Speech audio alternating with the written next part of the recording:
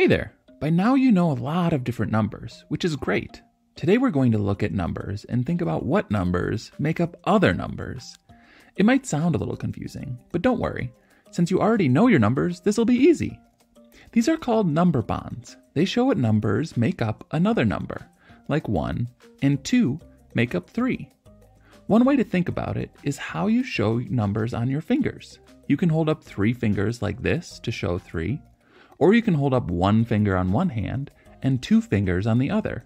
There are still three fingers. Let's try using our fingers for another number bond 4.